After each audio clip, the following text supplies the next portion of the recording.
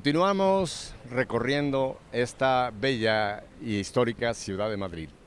Nos encontramos, como ustedes pueden ver, a los pies del Arco de Cuchilleros. Y a medio camino de esta escalinata se encuentran las cuevas de Luis Candela, un sitio donde tradicionalmente se puede venir a gozar del baile flamenco español. Pero ya que estamos aquí en Madrid, hemos tenido la oportunidad de entrevistar gente interesantísima. Y hoy tengo para ustedes una entrevista que estoy seguro que igual que a mí, les va a cambiar completamente el concepto de lo que es darle a Dios un cheque en blanco. Conrado Jiménez, una historia increíble. Créanme, en estos años en EWTN y a través de nuestra fe en vivo hemos tenido toda serie de entrevistas, pero esta de hoy con Conrado, créanme, les va a dar una perspectiva de lo que es entregarse a Dios y esperar las consecuencias de lo que eso lleva. Así que vamos a gozar, vamos a llorar, vamos a meternos en la vida de Conrado Jiménez. Un saludo en el nombre del Señor desde Madrid, España. Continuamos aquí en la Madre Patria eh, teniendo la dicha, la fortuna de poder entrevistar, compartir con personas que tienen una gran labor, no solamente en la sociedad, sino para la Iglesia de Dios. Esta tarde tenemos aquí con nosotros al señor Conrado Jiménez. Él es fundador y presidente de la Fundación Madrina. Conrado, yo sé que te hemos sacado un poco de tu, de tu agenda y te damos gracias por concedernos este ratito aquí a todo nuestro auditorio de habla hispana. Muchísimas gracias a vosotros, es un privilegio que, sea Dios quien hable, ¿no? No yo. Exactamente. es lo que quiero. Bueno, pero antes de que hablemos de la Fundación Madrina, que yo sé que ya mucha gente, el nombre ya le llamó la atención, Fundación Madrina, que se va a explicar con detalle el porqué de este nombre, vamos a hablar un poco de a quién Dios ha escogido o ha elegido para echar a andar esta, esta, esta obra que tiene un, alcance maravilloso. Háblanos un poco de Conrado. Conrado, ¿quién es Conrado? ¿Dónde nace Conrado? ¿Quién es la familia de Conrado? Bueno, yo soy un torpe hombre que, bueno, nació hace, hace unos años, ya unos ciertos años, y, pero del seno de una familia muy religiosa de, de, siete miembros. Mi madre es madre y mi padre de, de una familia numerosa de siete hijos, yo soy el mayor tuvo un aborto anterior, el médico le dijo que no podía tener hijos y entonces lo que eran eh, pues estas madres maravillosas, ¿no? que es la que me ha dado la fe, la que ha rezado siempre eh, por mí cuando no tenía fe, pues ella se puso el hábito de la Virgen de Perpetuo Socorro, me tuvo a mí, tuvo al resto de sus hijos y el ginecólogo decía esto es imposible, imposible, imposible. ¿no? Con lo cual yo creo que eh, la Virgen tenemos un, un, pequeño, creo que estamos un poco mimados por ella. ¿no? Y, pero es verdad que luego pues sí que me, me separé un poco, ¿no? Yo en la, en la universidad hice biologías y demás, y, pero ella siguió rezando, insistiendo, y a través de unos ejercicios espirituales conocí de nuevo a, Jesús, pero porque y una vez leyendo, llegó el Evangelio a, a, mis manos y dije, qué suerte tenía Pedro y demás de conocer a Jesús, ojalá pudiera yo conocerle, ¿no? E inmediatamente pues conocí a alguien que me invitó, fui y la verdad es que cambió, aunque mi vida ha hecho vaivenes, ¿no? Pero eso fue sobre todo, ¿no? Pero luego eh, soy biólogo molecular, trabajé en el mundo de la investigación eh, y cuando me iba a ir a Harvard para acabar la tesis, pues surgió que a través de una escuela de negocios que también iba, pues me ofrecieron eh, trabajar en un banco, como en el mundo, el mundo de, pues de la bolsa y los mercados, de hecho, monté alguna sociedad de valores y trabajé para dos grandes bancos eh, nacionales que están a nivel multinacional, a nivel de todo el mundo, eh, todo el mundo los conoce. Y, bueno, pues eh, fue cuando salí, porque estaba con el presidente, un torpe biólogo, que, pues cuando realmente pues vi que, que, no me llenaba. Eso de hacer ricos a los ricos, luego trabajaba para el Consejo de Administración a las 3 de la madrugada, trabajaba casi 24 horas eh, a las 3 de la madrugada ha salido un consejo de administración y tuve un accidente grave, no estaba preparado, estaba en pecado, y dije, bueno, mi vida tiene que cambiar, ¿no? Y entonces fue cuando realmente dije, bueno, pues Señor, ponme, ponme cerca a quien debo de ayudar, ¿no? Y había mendigos en la calle que yo cogía, recogía, llevaba al banco, claro, la gente, eh, presidente, tal, bueno, en fin, Conrado, tal, y, al final, eh, a través de un viaje que hice a Perú, eh, eh, con los misioneros de los libros de los pobres, pues el padre Giovanni, pues ahí me conquistó el corazón, vi una situación de niños, de madres, que, que, realmente estaban, incluso pudieran haber muerto si no los hubiéramos recogido, dije, bueno, cuando vuelvo a España monto una fundación a favor de la infancia y la maternidad. Aquí ya empecé a trabajar con la Madre Teresa de Calcuta, mm. con enfermos de SIDA por la noche, iba al banco por la mañana, trabajando con el presidente, con, eh, con ejecutivos, con gente, en fin, con cierta fortuna, y, pero por la noche me quedaba durmiendo con esos eh, enfermos terminales que en aquella época no había, o sea, morían todos y sobre todo necesitaban mucho amor, porque cuando les faltaba ese amor, se moría un amigo, morían al día siguiente, es decir, la importancia que tiene el amor, ¿no? Ahí, en la capilla de la Madre Teresa de Calcuta, donde ponía, tengo sed de ti, pues fue un poco remodelando, ¿no? Buscando. Entonces, pues en esa búsqueda yo también peregrinaba a un santuario, y con esto acaba un poco mi, proceso casi de conversión, peregrinaba a un santuario de Sonstadt, aquí en, Madrid, eh, que es un santuario mariano, peregrinaba todos los sábados, y, me encontraba con chicas eh, pues, eh, que estaban a lo largo de este camino, eran, eran madres, pero eran madres que estaban en situación de prostitución.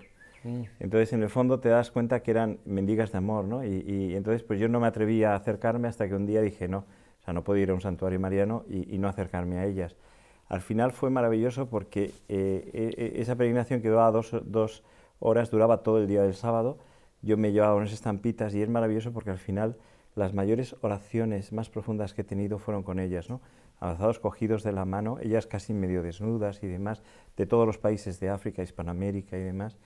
Eh, ellos pensaban que yo, pues me pedían, eh, pues pensaban que yo iba a pedir sus servicios, pero cuando yo les cogía y les entregaba una imagen de la Virgen con el niño, sonreían y decían, por favor, pida por mi hijo.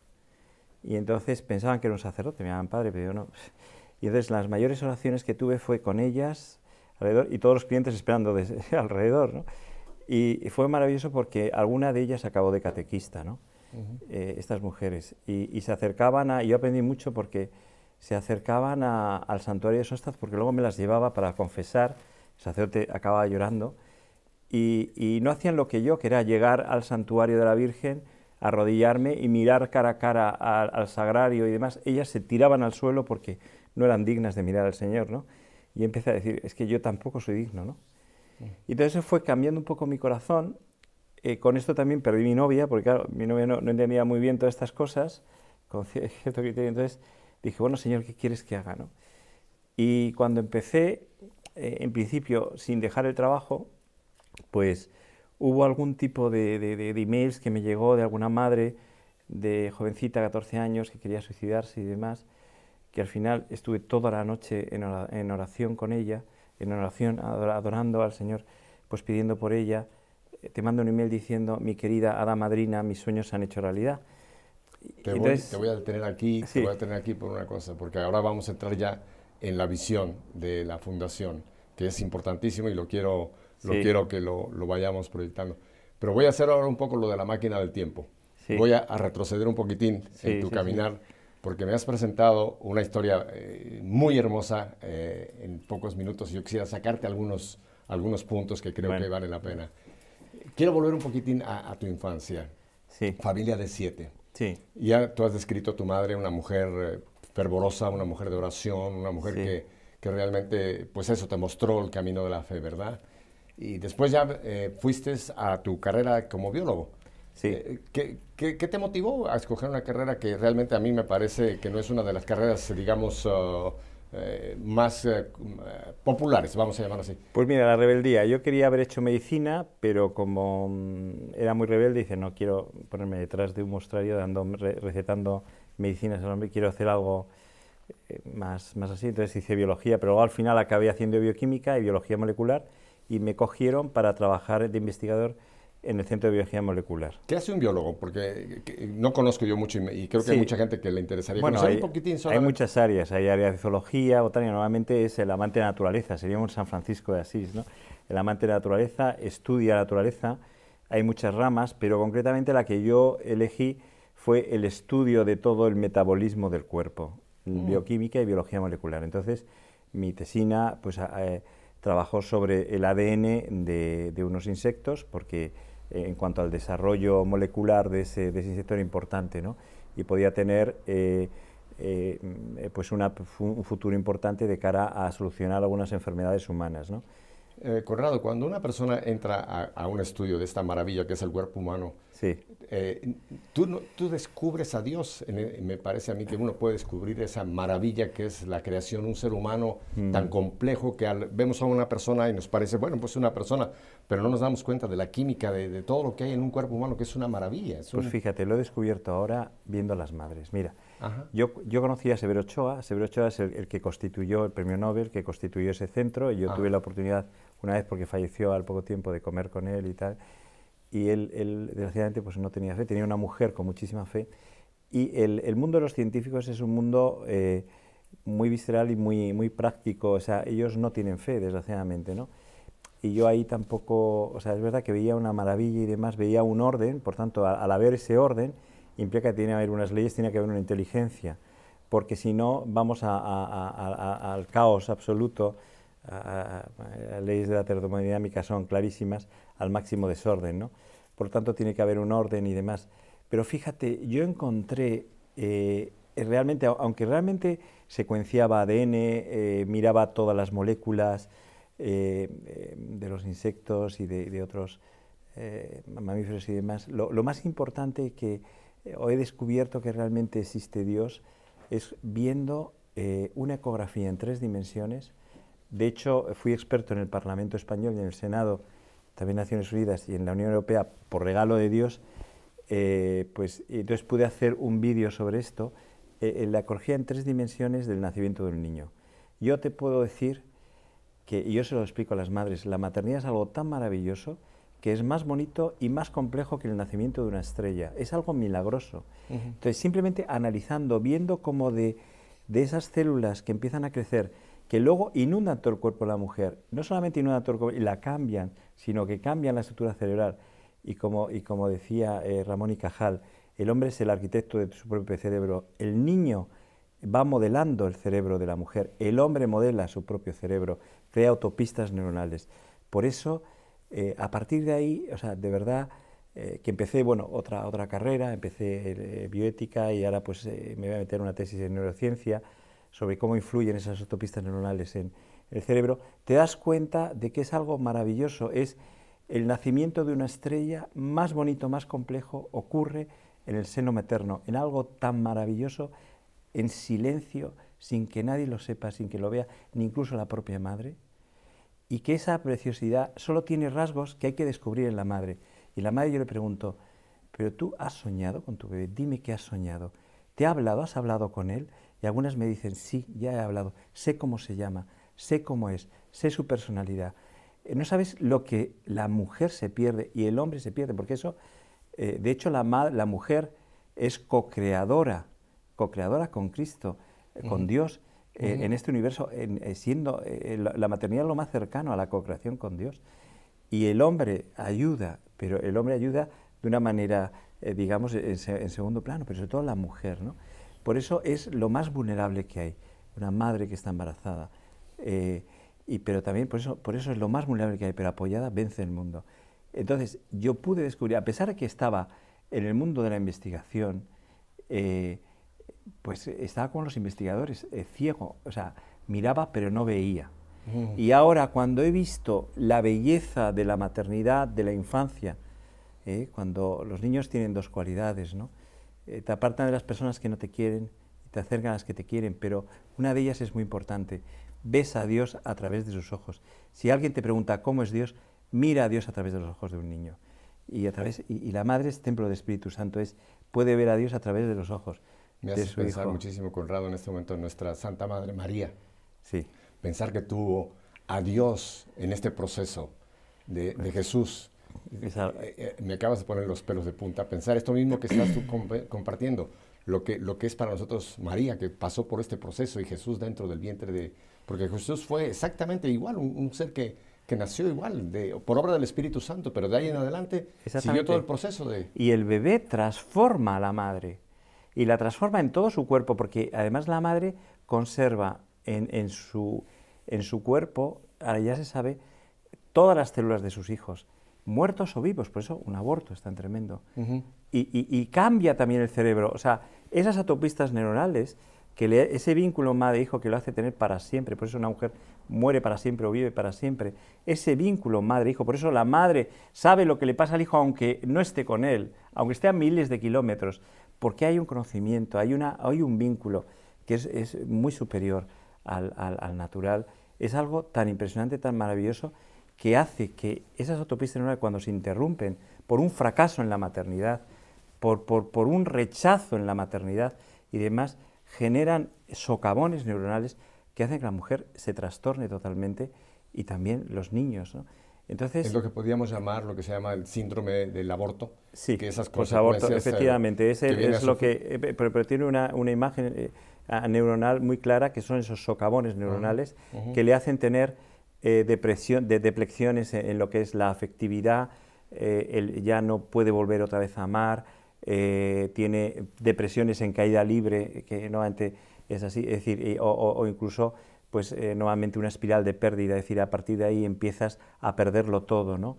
Eh, perder afectividad, ya no quieres de la misma forma a tu pareja, normalmente por eso hay rupturas, ya no te quieres a ti misma, asumes incluso situaciones de violencia, es decir, que es, a nosotros que trabajamos también con madres que han abortado, nos cuesta muchísimo sacarlas adelante porque es tal el, traumatismo, si te cortaras un brazo absolutamente o, te, tuvieras algo incluso muchísimo más grave, ¿no? El fracaso en la maternidad es uno de los fracasos más grandes que hay. ¿eh? Mm. Fracaso en la maternidad y fracaso en la paternidad. De, hecho, de hecho, se produce, normalmente lo, explicamos, el síndrome del avión o del ascensor, que es decir, que cuando tienes una mala experiencia, en este caso con una maternidad, en este caso con un avión, con un ascensor, eh, tienes un pánico a entrar en un avión, en un ascensor, cuando tienes un fracaso en la maternidad, una mala experiencia, tienes un pánico tremendo a ser madre. A volver a, la experiencia. Y de hecho, incluso madres que han abortado y quieren volver a ser tienen ese, pánico y alguna de ellas nos han llamado desde la propia clínica diciendo, oye, por favor, sácame de aquí que no puedo, ¿eh? que, quiero tener hijo, pero, pero me veo abocada a, a, no tenerlo. Es decir, es tal el trastorno, pero a lo que volvía, la belleza de la maternidad. O sea, eh, es algo tan eh, espectacular que si la mujer supiera lo que es eso, cambiaría radicalmente el vínculo que debe ser respetado. El hábitat materno, materno infantil, el hábitat materno infantil debe ser asegurado, preservado, debe ser un bien, un patrimonio de la humanidad. Y ahí es donde se forma desde el primer momento, porque desde el momento la, la personalidad del niño. Y eso cambia incluso la personalidad de la mujer, que la hace más sana, más saludable, más, más inteligente, más capaz de hacer cosas. Mm. Es curioso porque eh, por eso hay tantas enfermedades en los niños, porque se rechazan desde el primer momento. Por eso hay violencia y por eso hay guerras, porque eh, la primera que se hace es en el seno materno, es decir, la primera violencia que se hace es en el seno materno. Eh, por eso el amor es lo único que puede curar ahí. y, se nace en violencia porque se, o se vive en violencia porque se nace en violencia. Ahora, ahora vamos a hablar un poco, porque creo que cuando hablemos de la fundación vas a, ahondar sobre este servicio, este trabajo tan maravilloso que hacéis con, con, chicas, etcétera. Pero de un mundo tan, tan, tan especial como es este de la, de la bioquímica, etcétera, ¿cómo das un brinco a la banca? Que es como decir, me fui del polo norte al polo sur, por poner un, por decir una cosa. otra pregunta anterior. ¿Tú eres casado? ¿Tienes familia? No, antes he comentado que, que bueno, la es que sí que tenía, he tenido varias novias, pero bueno, era bastante, sí, además, además bueno, tenía una vida, es decir, me gusta mucho navegar, he tenido, fin, eh, tenía una vida bastante fácil porque se gana mucho dinero en banca, yo trabajaba, montaba alguna sociedad de valores y todo eso pues te da bastante, bastante que hacer y, bueno, pues todo, eso pues, lo he tenido que, y además con bastante inteligencia, la mujer era bastante inteligente, la última que tuve pues eh, vio que no que, mi mujer, que mi mujer que mi mujer es, el, eh, la fundación, de hecho vivo por y para, o sea, desde las 7 de la mañana hasta las que ya me acompañan las propias madres hasta las 12 de la noche que llego a casa, pues estoy en la fundación y es casi es como decir, bueno, eh, ¿cuándo empieza y termina el trabajo de una madre o de un padre? Pues, pues eh, es un trabajo que no tiene, no tiene principio ni fin, es para siempre, ¿no?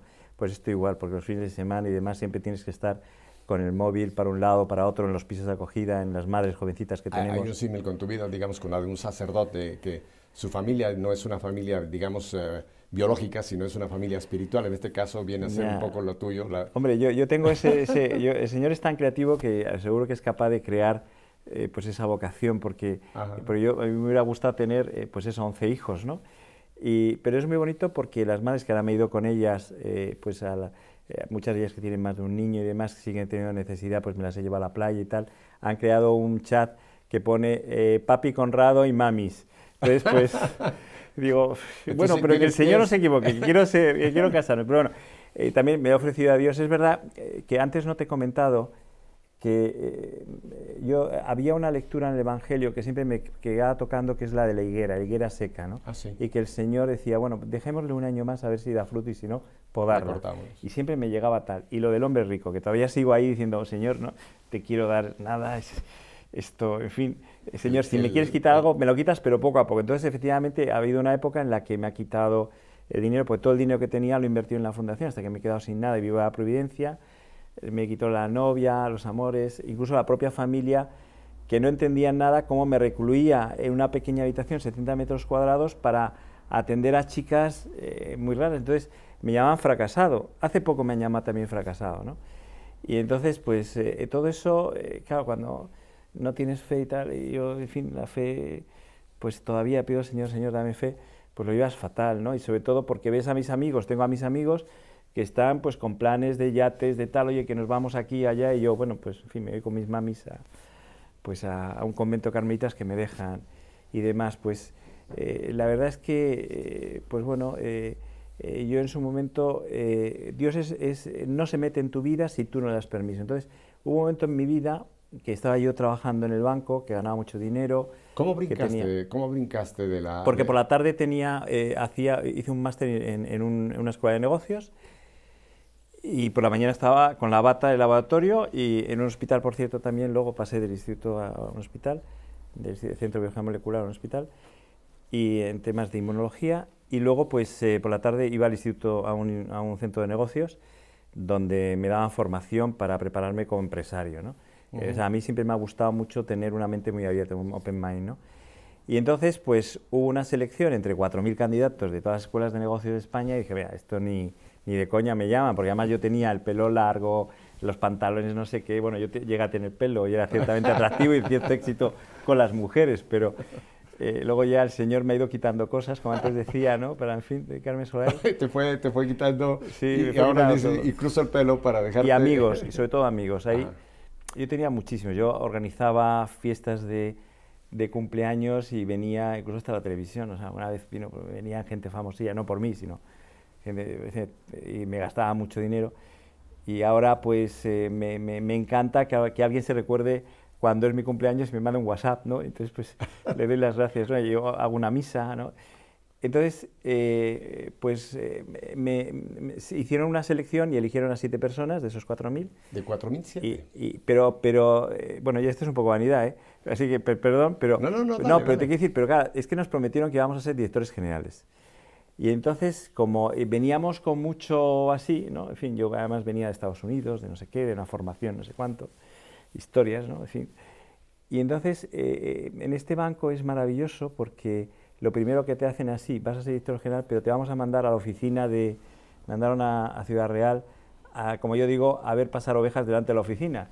Y entonces empecé yo en el cuarto de baño de esa oficina cuando vi al señor Mora, al señor no sé qué, que me mandaron eh, hacer un recobro con, y me dijeron, no, no, pero vete con esta navaja porque si acaso, digo, ¿cómo que esto? Le saqué fotocopia y le mandé a todos mis amigos del máster, digo, mira dónde me han mandado.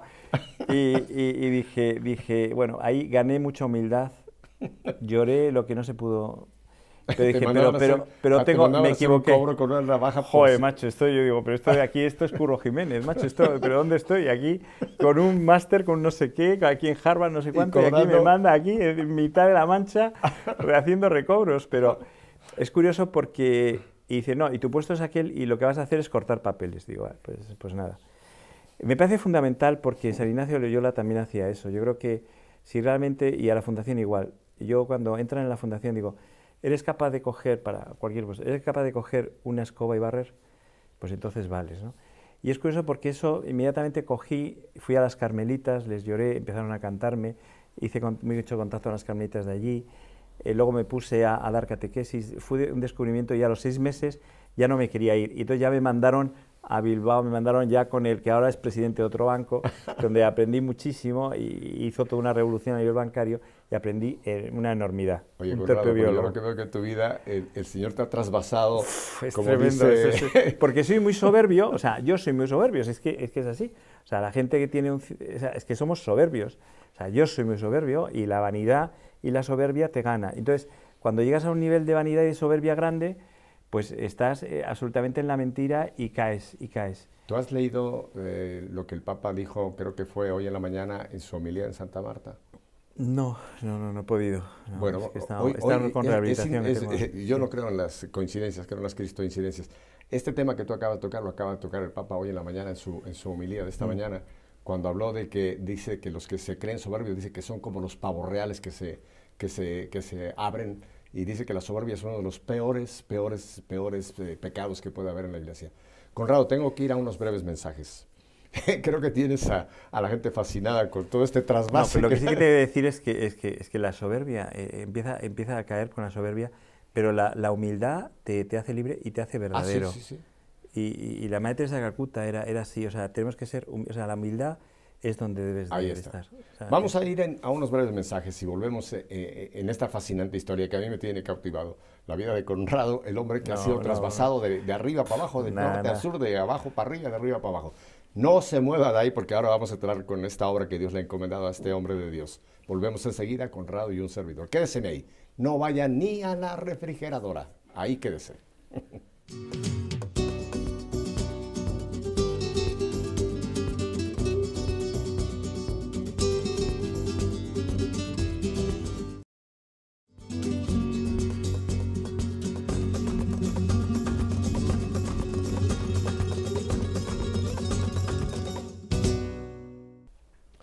Yo sé que usted no se movió de ahí, ¿verdad? Porque está igual que yo, estamos fascinados oyendo esta vida tan especial y no te quiero inflar. No, no quiero yo echarle, echarle, a, la, soberbia, pero Conrado, es que tu vida es, eh, he tenido oportunidad de tener ahí a mucha gente, pero créeme, tu historia es algo muy, muy especial. Entonces, entras a la banca, te mandan allá a ver pasar ovejas frente al balcón, luego de repente te mandan allá con los vascos arriba en Bilbao. Y de, Curro Jiménez. Luego ya en los vascos ya es mucho mejor porque trabajamos muchísimo de sol a sol. Son mejores los vascos que las ovejas. Eh, bueno, son exactamente iguales porque al final descubrí un mundo maravilloso en ambos sitios y que podías aprender de la humildad de, de personas sencillas y maravillosas y también de la laboriosidad de personas que trabajan y además de, con unos valores extraordinarios. Y donde, y donde aprendí también que valía lo mismo el conserje que el director general. De hecho, luego me contrataron en otro banco y cuando hacía proyectos, eh, en las reuniones, que además se cabreaban, traía al director general y al conserje, pues es que es importante para este proyecto que estén todos ahí.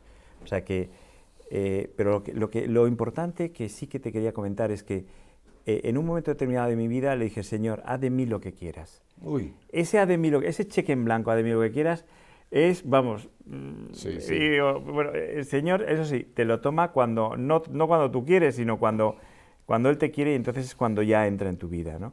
Y es cuando empieza a quitarte cosas, empieza a, ponértelo todo muy, muy complicado, muy, muy tal, es decir, a, madurarte, en la escuela de madurez, porque en el fondo no eres feliz, o sea, con, cosas y demás, y, hay personas que incluso pues, pueden llegar a morir y no, no, han madurado, no, no han sido felices.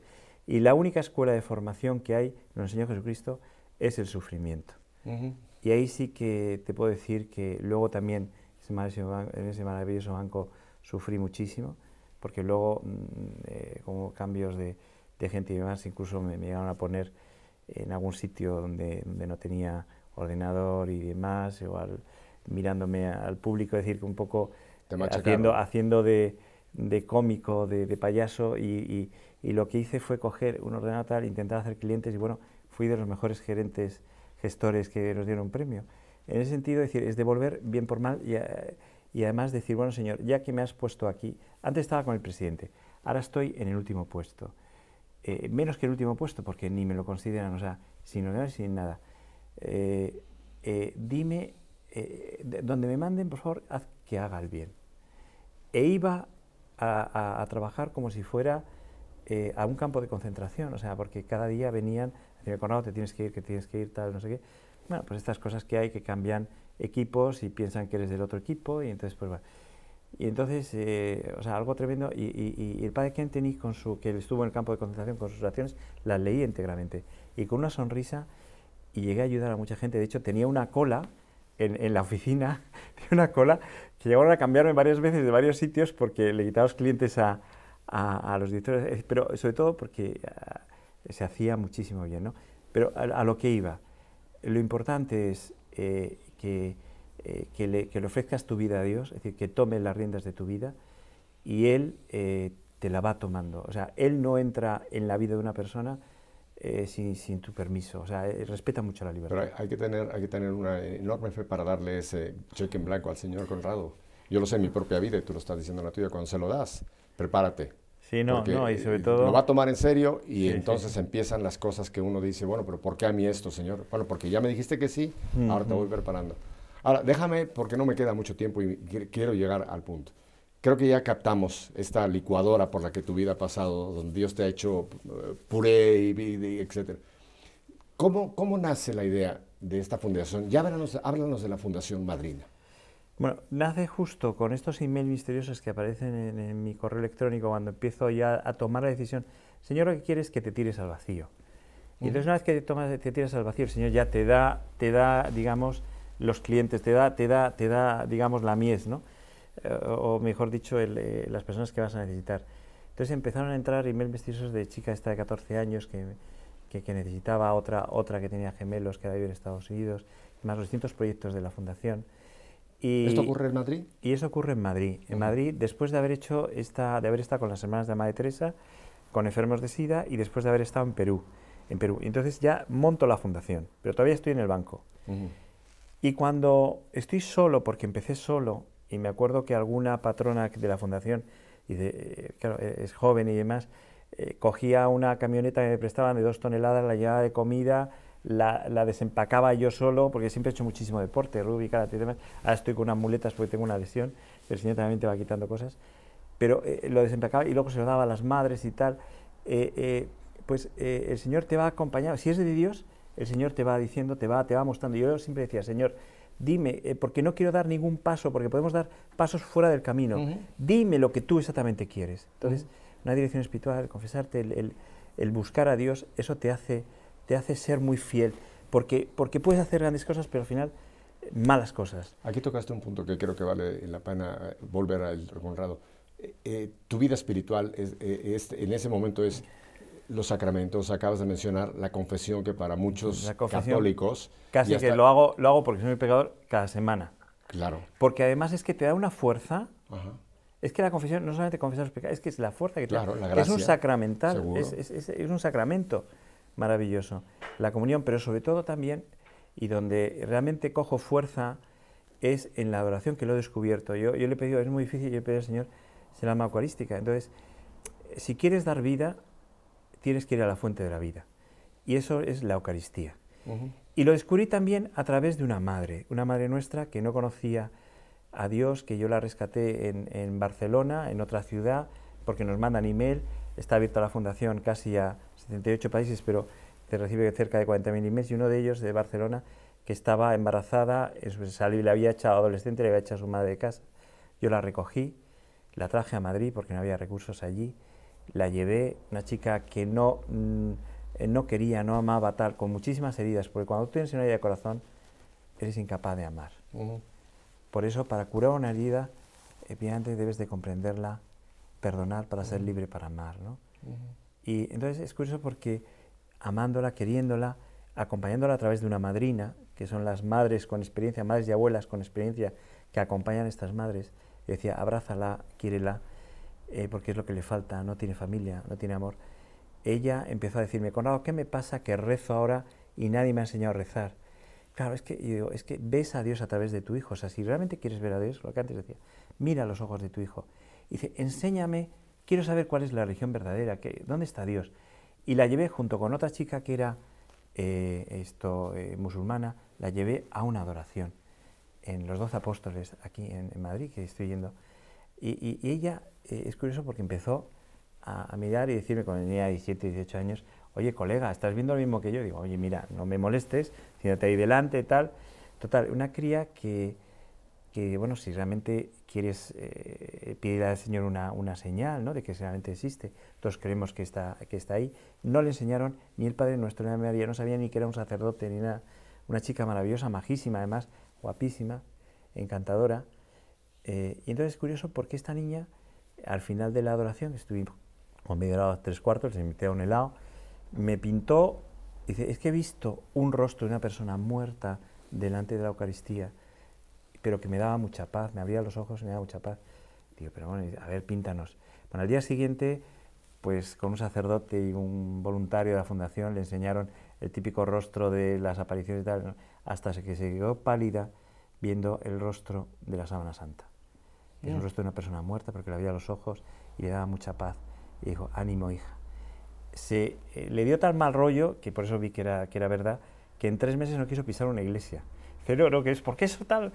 Y luego ya pidió confesarse, eh, pidió, pidió, pidió los sacramentos porque no estaba bautizada y, el vicario vino a darle el bautismo, la comunión, la confirmación y el, el bautismo para su hijo, Brian.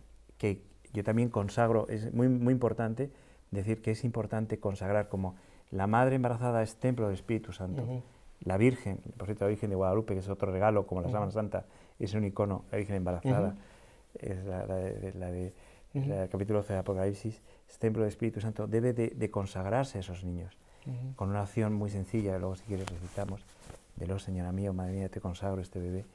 Pues es curioso porque ese, ese bebé luego rezaba esa oración. Pero es curioso porque esa madre vio a ese niño, cambió, transformó.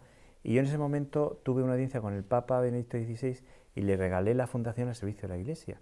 Y yo le dije, con tal de que esta fundación servirá si, si, alguno de estos niños sea, sea santo, o una de estas madres sea santo. Y al día siguiente se cierra la fundación, no pasa nada. O sea, con que uno de estos niños sea santo, y, que sea sacerdote, y es curioso porque cuando le bautizamos, me cogió, eso fue a los dos días de ver a, Benedicto XVI, eh, pues es muy bonito porque, porque me cogió aparte esta niña que no creía en Dios, que no nadie le había explicado nada, que ahora es muy típico en la, en la población adolescente, me dice, Conrado, he ofrecido a Brian, a mi hijo, como sacerdote. Ay, Dios. Y es muy bonito porque este niño, cuando bebe el biberón, y yo siempre visito a las madres y rezo la oración, deja de tomar el biberón, su madre se enfada deja tomar el vino y cuando termino la oración viene a abrazarme. Y ya me dicen las, las, madres que los niños de dos añitos o de cuatro años eh, rezan ya esa oración. Y es muy bonito, o sea, desde el seno materno hay que empezar a consagrar a estos niños, que es la presentación. Ahora, la fundación, la, idea, la, esta, esta, vamos, esta proyección que Dios te ha puesto, Conrado, ¿En qué consiste propiamente la fundación? Eh, pues la fundación la ha hecho el Señor, porque la Virgen la ha puesto como patrona capitana eh, vivimos de la misericordia y de la providencia, y ella lo ha configurado así. Entonces, poco a poco me ha hecho ver que efectivamente, o sea, el mayor problema que hay en la humanidad es la falta de amor, pero es falta de amor porque no hay familia. El padre no hace de padre, la madre no hace de padre. Entonces, tenemos que ser esa familia. Entonces, ¿por qué madrina? Porque son madres, la madrina principal es la Virgen, y a ejemplo de ella, como cuando visitó a su prima Santa Isabel, cuando cuidó de Jesús, es la madre o abuelas, que son fundamentales, las que salvarán el mundo, las abuelas, madres y abuelas que acompañan a estas madres, a ser madres. Tenemos madres desde 11 años, 14, 15 años. Entonces, para, para nuestro auditorio, para que vayan captando esto, eh, esta fundación es Conrado, pero tienes, vamos a llamarlo por de una forma, un equipo. Con misericordia, sí, hay un equipo que hay, hay, un centro que se llama el SAMI, que es ah, un centro sociosanitario, donde se le atiende desde el punto de vista sanitario. Sí, lo que pasa es que si nos han pedido ir a otros sitios, estamos empezando... En en Madrid. Ah, sí, pero, pero vamos, estamos empezando ya a, extenderlo en otras comunidades porque lo que hacemos son servicios integrales para atender a la madre sin tener que salir de la fundación.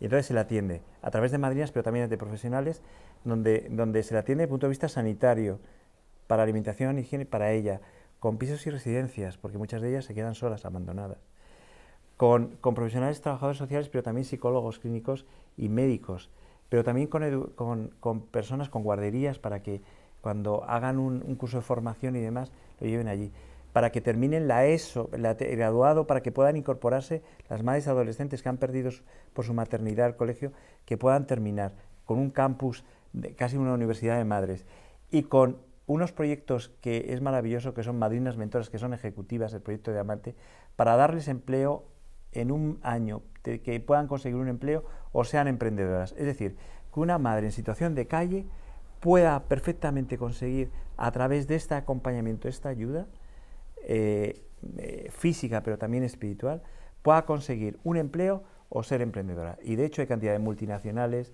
de tal que hacen proyectos con nosotros conjuntamente. Algunas de ellas pues eh, han tenido premios a nivel internacional. Todo por la gloria de Dios, o sea, sin buscarlo, porque no buscamos las empresas, son ellas las que nos buscan. Ahora, tú hablas mucho en plural somos.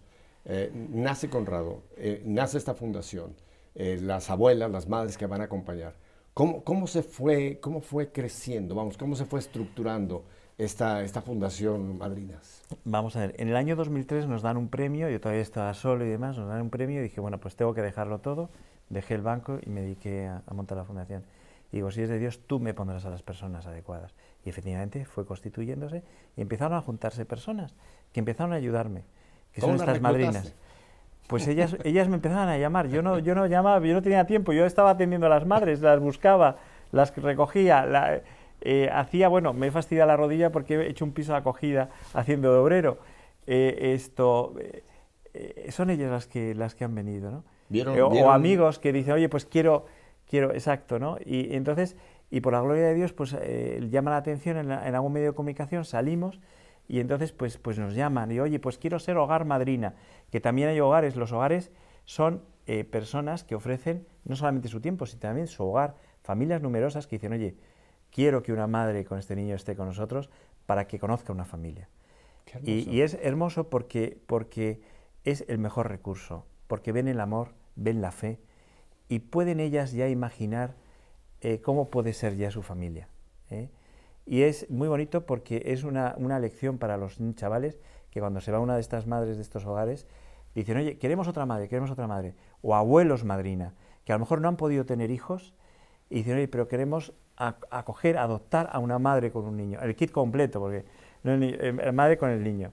Y ya eh, llevamos, la, la, más antigua ya lleva 7, 8 años, donde el abuelo que no puede tener hijos lleva al colegio a la niña, a Verita, y donde es un ejemplo en, su propio pueblo. A este momento, Conrado, eh, ¿cuántas personas tú dirías que colaboran con esta maravillosa idea de, esta Fundación Madrina?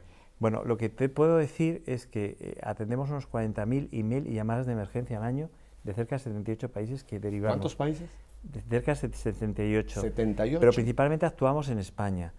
Eh, aunque nos han pedido ir a muchos sitios, pero yo pido al Señor pues que si es de Dios, que, que, lo haga, pero, pero que nos ayude. Segundo, eh, atendemos cerca de 4.000 madres en lo que es España con acompañamiento, con todo este proceso para sacarlas adelante, con un banco del bebé donde hacemos operaciones patuco, eh, que son eh, como la operación kilo, o sea, la operación alimentos, pero para conseguir material de higiene alimentación de bebé, leche, pañales, todo lo que una madre necesita.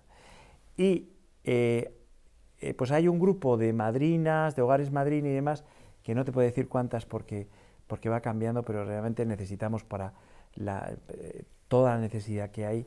Ayer, ayer recibimos como a 100 madres, una de 16 años que se me puso a llorar, empecé a rezar con ella, se calmó, me abrazó y digo, eh, necesito una madrina, necesita...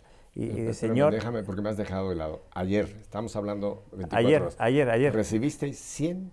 100, 100 madres, porque eh, son 100 madres en casos de, emergencia. Sí, sí. Una de, ellas, una, de ellas, una de ellas con el, con el niño dándole el pecho diciendo, tengo seis hijos, no tengo que darles de comer, ¿qué puedo hacer? tal Y yo rezando, y tuvimos una misa, una misa donde nos regalaron la riqueza del Padre Pío, estaba también don Álvaro, la riqueza de don Álvaro, que yo pedí también la de Juan Pablo II, es decir, los santos de, la Fundación, y con la Virgen de Guadalupe. Y entonces yo rezando, madre, pues, eh, eh, porque yo lloro mucho al Señor, ¿no?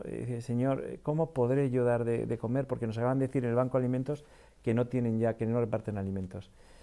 Y en ese momento, a través de una parroquia, nos dice, acabamos de recibir una llamada que nos dan diariamente no sé cuántos alimentos de una empresa de estas de... Así. Así, así conseguimos también los pisos. Yo diciendo, madre, ¿dónde, ¿dónde consigo estos pisos? ¿Dónde? Y de pronto alguien que se mete en la página web, un tío desconocido, oye, que, que he heredado un, un piso tal, quiero dejároslo para que a vuestras madres. Pues así, o sea, vivir de la providencia es verdad, o sea, es una vez te voy a decir una cosa, yo he sido banquero, yo he sido muchas cosas, muy torpe, pero te voy a decir una cosa, el mejor banquero es el Señor porque te da el ciento por uno. y, solo le tienes que pedir, pero tienes que vivir de la providencia, te, te vas a pasar canutas, pero canutas, pero el Señor te lo da todo. O sea, hay que vivir de la providencia, de verdad, es lo mejor. Conrado, eh, tú estás abriendo, eh, voy a usar un término un poco así, tú estás destapando una olla de grillos en este sentido. Nos están viendo en todas partes y mucha gente seguramente está siendo tocada por esta, esta visión, esta obra tuya. Eh, ¿Tú te abrirías a que gente que quiera contactarte para compartir contigo, quizá para preguntarte cómo lo pueden iniciar, en qué sé yo dónde? ¿Tú estarías dispuesto a mantener, abrir un poco esta comunicación contigo? Por supuesto, o sea, yo estoy deseando, porque esto no es mío, o sea, es que esto, yo soy el más torpe, de hecho, la gente me dice, oye, Conrado, tú eres el que más estorbas en la fundación, digo, fenomenal, señor, quítame de aquí, me quitas esta cruz, o sea, eh, o sea de verdad, o sea, eh, eh, esto, pero sí, yo estoy absolutamente dispuesto a que esta obra, que es obra de Dios, se expanda por todo el mundo si Dios quiere. Bueno, y de la forma quiere. Y además, pero voy a decir una cosa, la clave es la oración. Es decir, la adoración. Ser almas de adorador. Yo diría que abrieran un pequeño grupo de oración en sus parroquias, de adoración al Santísimo, que ahí empiecen a salir las madrinas adoradoras, ¿eh? y que esa adoración, porque no se puede ser activista, sino que esa oración que te llena de espíritu, te lleve a actuar. Porque si no, te vacías y no das.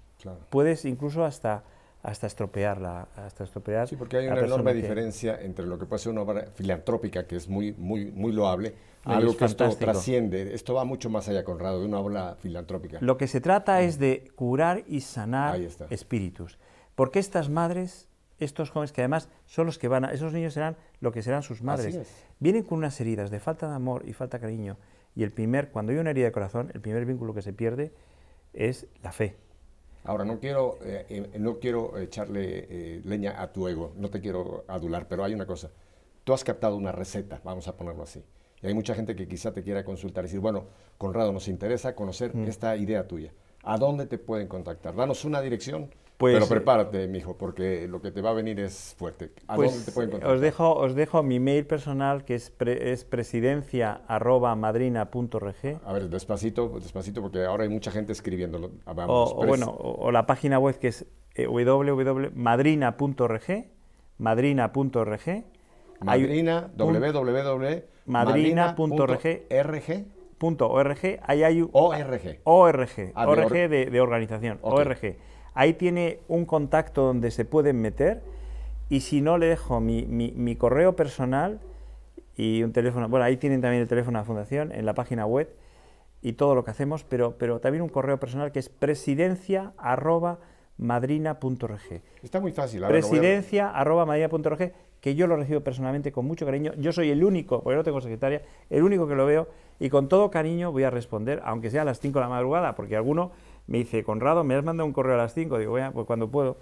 Entonces, eh, eh, pero, pero de verdad que, que, nos hablamos al amor, al cariño, porque eh, yo creo que tiene que haber una nueva, una nueva apertura. Nosotros tenemos que ser esa familia que acoge a esta, a esta juventud que es el futuro.